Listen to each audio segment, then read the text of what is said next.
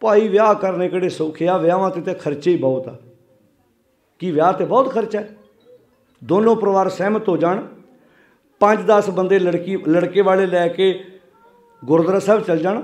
ਤੁਸੀਂ ਕਿਸੇ ਗ੍ਰੰਥੀ ਪ੍ਰਚਾਰਕ ਨੂੰ ਨਾ ਸੱਦੋ, ਤੁਹਾਨੂੰ ਲਾਵਾਂ ਪੜ੍ਹਨੀਆਂ ਆਉਂਦੀਆਂ। ਪਾਈਆ ਦੇਸੀ ਘਿਓ ਦੀ ਦੇਗ ਤਿਆਰ ਕਰੋ ਤੇ ਲਾਵਾਂ ਕਰਾ ਕੇ ਘਰ ਆ ਜਾਓ, ਦੱਸੋ ਖਰਚਾ ਕਿੱਥੇ ਹੋਇਆ? ਖਰਚਾ ਹੁੰਦਾ ਇੱਥੇ। ਇਹਨੂੰ ਕੀ ਆਂਦੇ ਭਲਾ? ਤੇ ਨੱਕ ਦਾ ਕੀ ਅਰਥ ਹੈ? ਇੱਜ਼ਤ। ਜਿੱਥੇ ਵਾਧੂ ਦੇ ਵਿਖਾਵੇ ਕੀਤੇ ਜਾਂਦੇ ਆ, ਜਿੱਥੇ ਮੁੰਦਰੀਆਂ, ਛਾਪਾਂ, ਛੱਲੇ ਇਹਨੂੰ ਸੂਟ ਦੇਣਾ ਇਹਦੇ ਕੋ ਸੂਟ ਇਦਾਂ ਹੀ ਹੁੰਦਾ ਜੀ, ਲੈਣ ਦੇਣ ਚੱਲਦਾ। ਪਹਿਲਾਂ ਸੂਟ ਅਗਲਿਆਂ ਦੇ ਵਿਆਹਾਂ ਤੇ ਦੇ ਕੇ ਆਉਣੇ, ਫਿਰ ਉਹਨਾਂ ਨੇ ਅੱਗੇੋਂ ਦੇਣੇ ਤੇ ਲੜਾਈ ਇੱਥੋਂ ਪੈ ਜਾਂਦੀ ਆ, ਅਸੀਂ 5000 ਦਿੱਤਾ ਆ ਸਾਨੂੰ 2500 ਦਾ ਦਿੱਤਾ। ਹਾਂਜੀ? ਉਹ ਬੋਲੋ ਭਾਈ, ਤੁਸੀਂ ਸਾਰੇ ਬਿਜ਼ਨਸਮੈਨ ਮੇਰੇ ਵੀਰ ਬੈਠੇ ਹੋ। ਜਿਹੜੀ ਕੱਪੜੇ ਵਾਲੀਆਂ ਮਿੱਲਾਂ ਨੇ ਨਾ, ਉਹਨਾਂ 'ਚ ਵੀ ਕੱਪੜਾ ਜਦੋਂ ਬਣਦਾ ਨਾ, ਉਹਨਾਂ ਨੂੰ ਪਹਿਲਾਂ ਪਤਾ ਵੀ ਆਹ ਕੱਪੜਾ ਅਸੀਂ ਉਹਨਾਂ ਲਈ ਬਣਾ ਰਹੇ ਆ ਜਿਹੜਾ ਕਿਸੇ ਦੇ ਗਾਲ ਕਦੀ ਨਹੀਂ ਪੈਣਾ।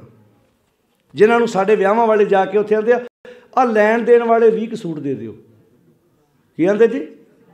ਲੈਣ ਦੇਣ ਵਾਲੇ 20 ਸੂਟ ਦੇ ਦਿਓ। ਉਹ ਲੈਣ ਦੇਣ ਵਾਲੇ ਸੂਟ ਕਿਹੜੇ ਭਲਾ? ਜਿਹੜੇ ਇਦਾਂ ਹਾਂ, ਘੁੰਮਣੇ ਆ। ਤੇ ਜਿਹੜੀਆਂ ਮਾਈਆਂ, ਜਿਹੜੇ ਵੀਰ ਆਂਦੇ ਆ ਨਾ ਕਿ ਸਾਡੀ ਯਾਦਾਸ਼ ਬੜੀ ਕਮਜ਼ੋਰ ਆ। ਆਪਣੇ ਪੁੱਤਰ ਧੀ ਦੇ ਵਿਆਹ ਤੇ ਦਿੱਤਾ ਹੋਇਆ ਸੂਟ, ਜਦੋਂ ਸਾਡੇ ਰਿਸ਼ਤੇਦਾਰਾਂ ਕੋਲੋਂ ਘੁੰਮ ਕੇ ਰਾਏਪੁਰ, ਨਾਗਪੁਰ, ਓ ਹਜੂਰ ਸਾਹਿਬ ਇਧਰੋਂ ਬੰਬੇ ਘੁੰਮ ਕੇ ਫਲਾਈਟਾਂ ਚੱਕਰ ਚੁੱਕਰ ਮਾਰਦਾ, ਸਾਡੇ ਘਰ ਆਉਂਦਾ ਨਾ 10 ਸਾਲਾਂ ਬਾਅਦ ਤੇ ਇੱਕਦਮ ਬੀਬੀਆਂ ਵੇਖ ਲੈ ਇਹ ਤੇ ਆਪਣੇ ਘਰੋਂ ਗਿਆ।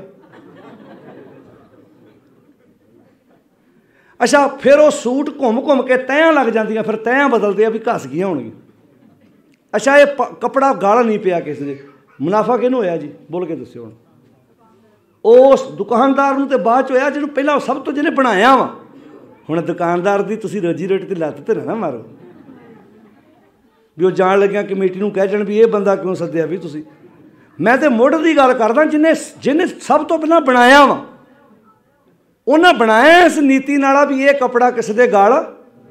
ਬੋਲੋ ਜੀ।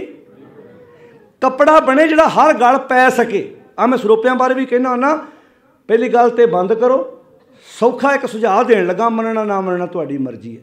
ਸ਼ਬਦਾਂ ਦੇ ਮੋਮੈਂਟੋ ਬਣਾਓ। ਥੱਲੇ ਗੁਰਦੁਆਰਾ ਦਾ ਐਡਰੈਸ ਲਿਖੋ।